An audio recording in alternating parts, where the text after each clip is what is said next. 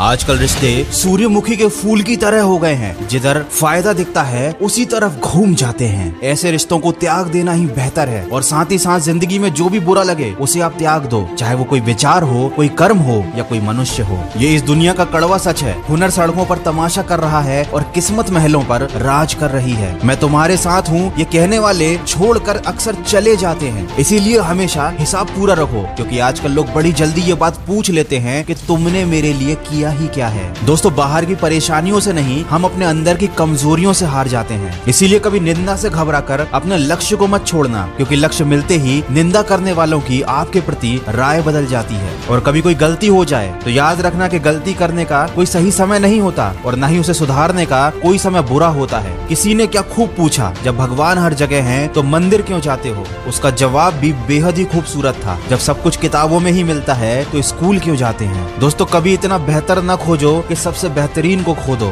दुनिया को छोड़ो और पहले उस इंसान को खुश रखो, जिसे तुम रोज आईने में देखते हो। अपने हिसाब से जियो, लोगों की सोच का क्या है? वो तो कंडीशन के हिसाब से बदलती रहती है। अगर चाय में मक्खी गिरे तो चाय फेंक देते हैं। और अगर घी में गिरे तो मक्खी को फेंक देते हैं। माना कि आप किसी का भाग्य नहीं बदल सकते, लेकिन एक अच्छी प्रेरणा और सलाह देकर किसी का मार्गदर्शन ज़रूर कर सकते हो। इसीलिए कभी भी मौका मिले तो जीवन में सारथी बने, स्वार्थी नहीं। और याद रखें, कुदरत जानबूझकर हमें मुश्किल हालातों में डालती है ताकि हम उन लोगों के चेहरों पे लगे नकाब देख सके, जिन पर हम आँखें बंद करके भरोसा करते थे। जिन लोगों के अभी एग्ज़ाम चल रहे हैं, उनसे बस इतना कहना चाहूँगा, आँखों में नींद बहुत है, पर सोना नहीं है। यही समय है कुछ करने का, मेरे दोस्त, इसे खोना नहीं है। सपना एक देखोगे, मुश्किलें हज़ार आएँगी, लेकिन वो मंजर बड़ा खूबसूरत होगा जब कामयाबी शोर मचाएगी। किसी ने क्या खूब कहा है, छाता और दिमाग जब तक खुले हों, उचित प्रयोग में आते हैं, वरना फिजूल में बोझ बढ़ाते हैं। इसीलिए अपने दिल की नहीं, अपने दिमाग की सुनिए। और याद रखिए कि तूफ़ान में ताश का घर नहीं बनता,